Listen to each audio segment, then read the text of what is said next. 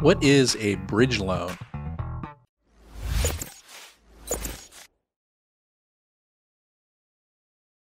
Hey, what's up, everybody? It is Jeff Trevarthen, Jeff the Mortgage Pro. Thanks so much for watching the channel.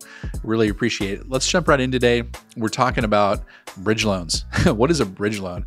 Uh, oftentimes, I hear this thrown around, and it's not really a bridge loan that people are talking about, but for the most part, let me define what a bridge loan is. It's short term financing, usually anywhere from six to 12 months, that can serve as a source to bridge the gap uh, between one property and the next until permanent financing can be established. So, we in this particular market that we've seen over the last year uh, have heard a lot about bridge loans. And I'm sure you, if you are looking to buy a house and you already own your existing house, have probably even like considered the option of a bridge loan just because um, the market's supply right now is really hard for buyers to, to buy new homes. So it's really easy to sell your home right now in a lot of markets, but it's really hard to buy your next home because there's such little supply out there. So oftentimes we need to do this bridge financing to help us bridge the gap from one property to another. So most commonly, you'll see it right now when you are buying your next property while also selling your existing property. That's where I see it the most. So here's some other common reasons why you might need a residential bridge loan. Number one, inability to afford down payment without selling your current property. Now, sometimes there's solutions with this. We can get a HELOC on your existing property and then use that as the down payment on the next property, but you got to qualify for all those loans, and it makes it really hard to do that. So, bridge financing might be uh, the option here. Um, let's say you have a really pressing need to buy your next home. Uh, you got a job change, you got to move really fast, and you got to buy your next home before you like have any time before you can like even get started on your next job. So you got to move really quickly. That might be something where you need a bridge loan. So a pressing need to buy a new home really fast. The closing date for your new purchase is scheduled after the closing date for the sale of your existing home. So all the funds that you're going to need for the, the, purchase of your next property are not even going to be available yet. So you might need a bridge loan type of a financing to be able to close on that new home before you get your funds from the existing home that you have. Um, and number four, a preference to secure new property before you're listing your current property for sale. So oftentimes, again, because the market is really hard to find the, your next home, property or people will use a bridge loan to buy their next property and then they'll sell their next sell their departing residence after they've secured their new property and they've already moved in their new property. So they don't have to move multiple times in that instance. And then lastly, sellers in your area aren't comfortable with contingent offers. This is the most common way, uh, most common thing that I've seen over the last several years, especially here in Silicon Valley is that people don't want to take a contingent offer. A contingent offer just means that um, you have to sell your existing house before you can buy the new house. And oftentimes you'll get that written into a contract. And uh, I would say that most people in the Silicon Valley, at least, and many other uh, affluent markets around the country, are just going to say, no, we're not going to you know, sell on contingent offer because there's other people out there that are not contingent on selling their existing home. Now, if the market softens up a little bit, it may be that that is a better case. And you don't need the bridge financing to be able to do that if, if that's the case and that comes back and you're able to sell, uh, be contingent on the sale of your existing house before you buy your next house. Okay. Um, so let's talk about some of the terms of a bridge loan. These are really, again, they're short-term loans, six to 12 months.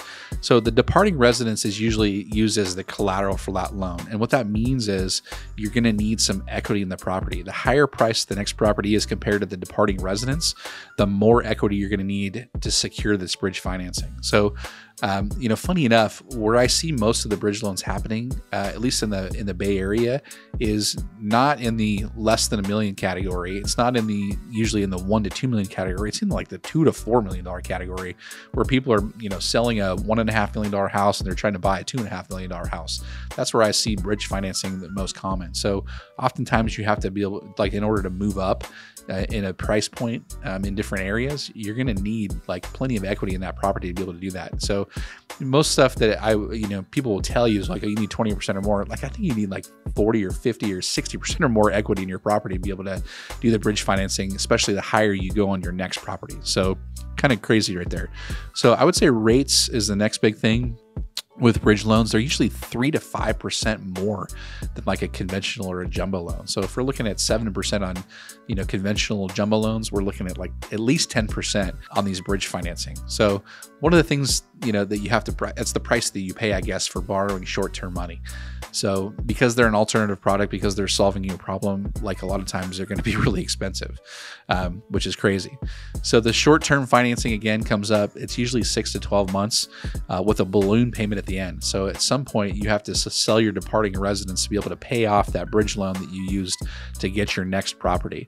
Um, so that's one of the things that uh, you need to make sure that you have the end goal in mind before you actually get going with a bridge loan, because uh, I don't. I don't think I've ever seen anybody get stuck, and I hope that nobody ever gets stuck, but it could happen that you have this huge balloon payment at the end if you're not able to sell your departing residence. So you got to be careful with the bridge financing. Oftentimes, uh, there's no payments required for at least a couple months, which is a benefit for you. So you can sell that property quickly and move into the next property, pay off the bridge loan, and then, you know, bada bing, bada boom, you're done. you don't have to worry about it. So that's a cool thing with this. Uh, in some instances, uh, a lot of the bridge money financing lenders will allow you to use interest only payments as well. So you can help minimize your cash flow, your you maximize your cash flow um, and keep that mortgage payment as low as you possibly can while you sell your existing residence and get into the new property uh, going forward. And these are definitely going to be expensive. They're usually two to four points. And why are they expensive? Again, it's because of the convenience that they're providing for you to be able to get from one place to another without having to, you know, sell your property and then move into a rental and then buy your next property. And especially because we don't know how long it's going to take you to buy the property. And again, like right now or over the last several years, it's been really easy to sell your property, but it's been hard to buy a property because the supply has been so low. And uh, that's what they were solving with the bridge loan is to help you be able to make it easier for you. So those things are going to be a little bit more expensive when you're using a bridge loan going forward. Okay. Um, so this is all about, this video is all about residential bridge loan financing, by the way. There exists uh, a product in the commercial space called bridge financing as well. And you'll see that used a lot more in the commercial space than you are going to see it in the residential space. But at the same time, it's becoming fairly common in the residential space because it is such a good you know quick way to get from one place to another so if you need help with bridge financing or you find somebody that's going to help you out with this type of a product I'd love to be the person that helps you out with this. Uh, if you're buying one property and selling your next property, and this is something that you might need and you want the convenience of doing this, please reach out to me. I'll leave my calendar down below, and uh, please go ahead and schedule an appointment with me. I'd love to chat with you and talk to you more about bridge financing um, or any other financing you may need. Okay. Talk to you soon. Thanks so much for watching my video, and I will see you on the next show. Have a good one. Bye.